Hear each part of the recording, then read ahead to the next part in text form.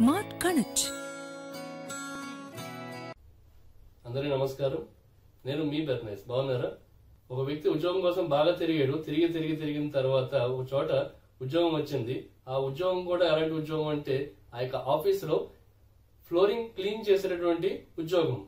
ఉద్యోగం అయితే సరే అని చెప్పి సెలెక్ట్ అయిపోయాడు ఆ యొక్క హెచ్ఆర్ దగ్గరికి వచ్చిన తర్వాత మీరు సెలెక్ట్ అయ్యారు అయితే మీ ఈమెయిల్ ఐడి ఇవ్వండి. మీ ఈమెయిల్ ఐడి ఇచ్చినట్లయితే మీ యొక్క ఆఫర్ లెటర్ లేక అపాయింట్మెంట్ లెటర్ మీకు మెయిల్ చేయడం జరుగుతుంది అని చెప్పి ఆమె ఇచ్చారు. చెప్పడం జరిగింది. అప్పుడు ఇతను అన్నాడు నాకు ఈమెయిలే లేదండి అని చెప్పి అంటే ఆమె అంది కనీసం మీకు ఈమెయిలే లేదు.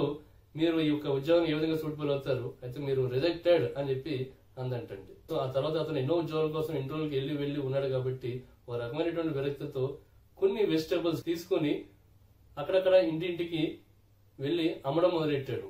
వెజిటేబుల్స్ తీసుకుని అమ్మడం మొదలెట్టిన తర్వాత ఆ యొక్క వెజిటేబుల్స్ ఏదైతే ఉన్నాయో ఆ యొక్క కాయగూరలు ఏదైతే ఉన్నాయో క్వాలిటీ కలిగినటువంటి కాయగూరలు అతను ఎంచుకొని ఇస్తున్నాడు కాబట్టి ఆ తర్వాత తర్వాత కస్టమర్స్ కూడా ఇతని దగ్గర తీసుకోవడం మొదలెట్టారు. అలా కొన్ని కూరగాయలు తీసుకెళ్ళేటువంటి వ్యక్తి తర్వాత ఏమైందంటే ఒక పెద్ద పెద్ద బాక్సులతో కూరగాయలు సప్లై చేయడం మొదలెట్టాడు. ఆ సప్లై చేయడం మొదలెట్టిన తర్వాత ఎలాగో ఇతను ఇచ్చినటువంటి కూరగాయలు ఎంచుకొని మంచి కూరగాయలు కస్టమర్స్ అందిస్తాడని చెప్పి ఆ తర్వాత తర్వాత మిగతా కాలనీ వాళ్ళు కూడా కొనడం మొదలెట్టారు. అలాగా చిన్న కూరగాయలు తర్వాత పెద్ద బాక్సులతో పట్టుకునే వ్యక్తి ఒక పెద్ద వ్యాన్తో ఆ తర్వాత కూరగాయలు ఆ యొక్క కాలనీ వాళ్ళకి అందరికి కూడా సప్లై చేయడం జరిగింది. అట్లా అట్లా సప్లై చేసిన తర్వాత ఒక పెద్ద వ్యాపారాన్ని అతను నిర్మించగలిగాడు. నిర్మించుకున్న తర్వాత ఒక ఇన్సూరెన్స్ అతను ఇతనికి దగ్గరికి వచ్చాడు. దగ్గరికి వచ్చిన తర్వాత అయ్యా మీరు ఇన్సూరెన్స్ కోసం అప్లై చేశారు. ఇదిగోండి అప్లికేషన్ అని చెప్పి చేసినప్పుడు సరే అప్లికేషన్ అంతా ఫిలప్ చేశారు అతను ఫిలప్ చేసిన తర్వాత ఈమెయిల్ ఐడి అని చెప్పి ఉంది.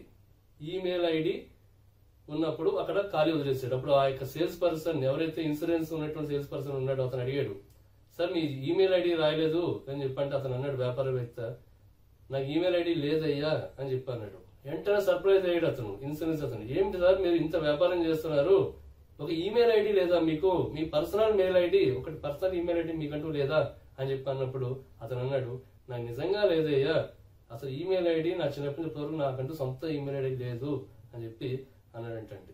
అప్పుడు ఆ ఇన్సూరెన్స్ అతను అన్నాడు సార్ మీరు ఏమీ లేకుండా ఇంత వ్యాపారం చేయగలిగారు. ఈమెయిల్ ఐడి కానీ ఉండుంటే మీరు ఎలా ఉండేవారో తెలుసా? అని చెప్పి అన్నాడంట అప్పుడు అతను అన్నాడు నాకు తెలుసయ్యా.